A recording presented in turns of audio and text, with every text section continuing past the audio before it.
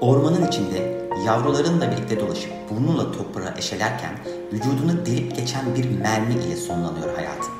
Ancak avcıların yavrularınla işi bitmedi daha. İşte bu videomuzda Celalistan çiftliğinde yaşayan yaban domuzu Fık Fık'la tanışacağız. Ve mutlu sonla biten trajik hikayesini aktivist Ege Sakin'den dinleyeceğiz. Ancak öncesinde kanalıma abone olmayı unutmayınız lütfen. Ayrıca videonun altında yorumlarınızı da bekliyorum.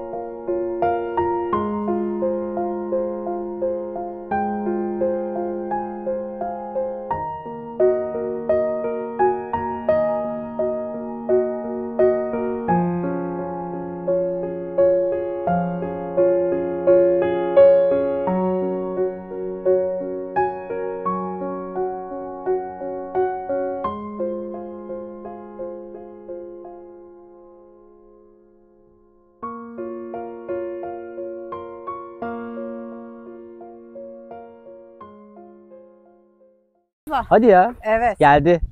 Geldi mi? Geldi burada. Fık fık. Fık fık. Merhaba tatlım. Şşş, sakin. Sakin çocuklar. Evet fık fık. Şu anda yaz döneminde olduğumuz için üstündeki o kalın tüylerini döktü.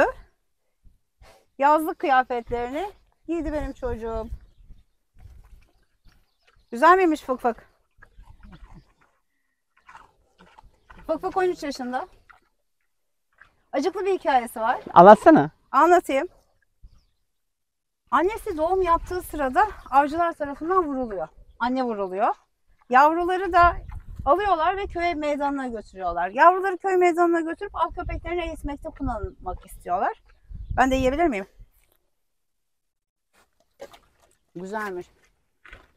Bir şekilde babama haber geliyor. Diyorlar ki Celal Bey 6 tane yavru var köpeklere parçalatıyorlar. Babam beni aradı. Orman suyu gönderdik oraya falan. Neyse yavrulara el konuldu. Tabii o zaman orman suyunun rehabilitasyon merkezi yok. Bunlardan anlayan veteriner hekim bulmak bu bölgede çok zor. Sen de yoksun o zamanlar. Ee, buraya getirildiler onlar. 6 bebek. İstanbul'da WWF ile temasa geçtik. İstanbul Üniversitesi Veteriner Fakültesi ile temasa geçtik. Bakımları sağlandı. Bir veteriner hekim geldi. Ahmet Emre Kütükçü geldi. Onlara baktı.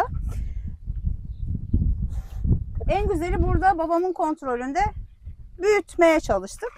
Tabii 5 yavruyu kaybettik. O kadar daha yeni doğmuşlar. Yani göbek bağları üzerinde. Bu hayatta kaldı. Ama bunu hayatta tutabilmek için çok özel ilgi gösterdik. Evin içinde büyüdü. Bu eve gelip buzdolabını açıp buzdolabında ne var diye bakıyordu.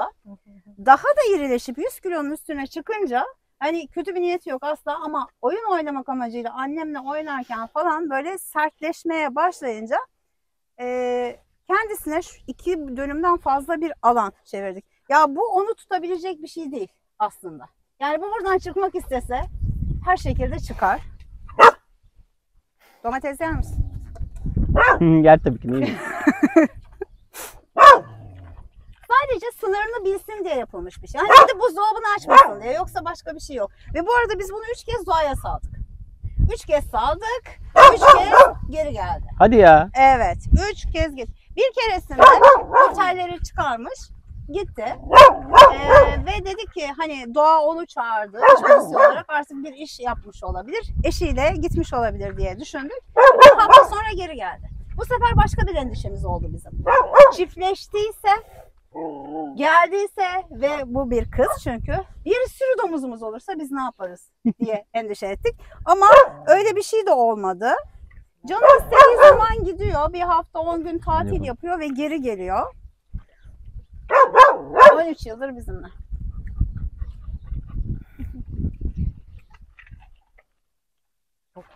Çok tatlı ama. İçeride gölün uzantısı bunun arazisinin içine giriyor. Sulak alanı da var. Aa, giriyor içeri biraz. Evet.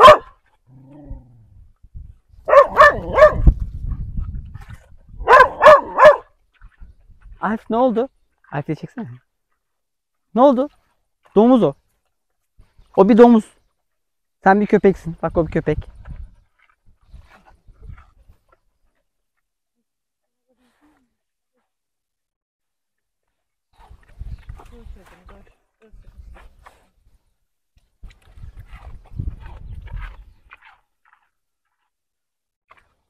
Ya kulaklarının içindeki tüyler çok Kışın daha bir heybetli görünüyor. Çünkü o zaman kışlık tüyleri düzülmüş oluyor.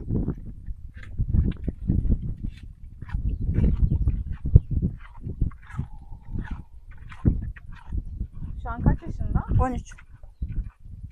20 dedin değil mi ortalama? Captivated pigs yani e, koruma altındaki e, domuzlar 20 yaşına kadar yaşayabiliyor. Normal ömürleri 13 yıl.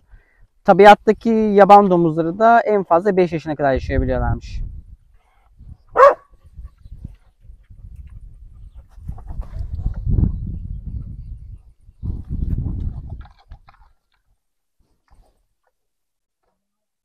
Bu sıfır gitti valla.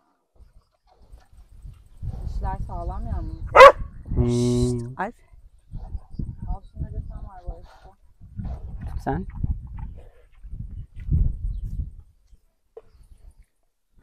Al bakalım.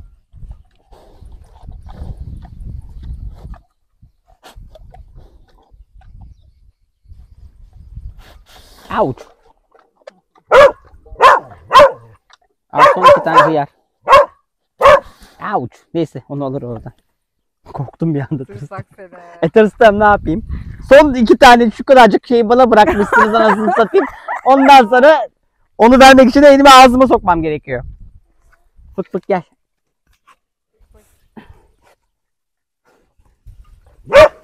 Geldi.